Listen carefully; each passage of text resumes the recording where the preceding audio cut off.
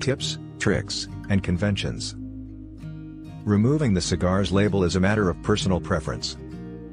Some guys prefer to do it right away, and others like to leave it on for the duration of the smoke session.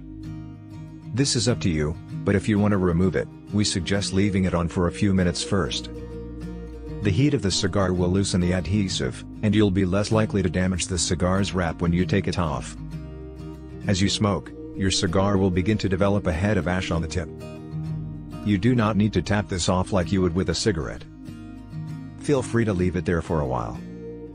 A big ash is a sign of a quality cigar, but don't let it get super long either. Too much ash on the end can hinder airflow, which makes to tobacco burn irregularly, and also affects the flavor. Try not to let it get longer than an inch or so, and when you ash it, don't tap it off as you would with a cigarette, gently roll it on the ashtray until it breaks off.